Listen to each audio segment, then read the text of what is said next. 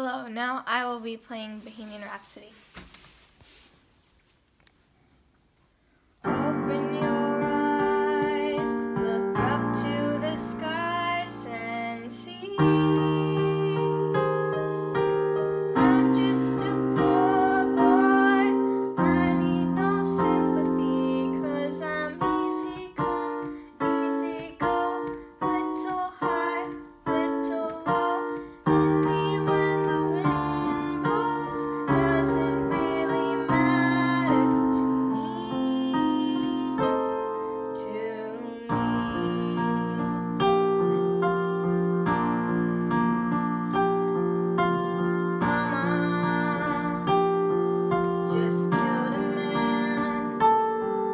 but it.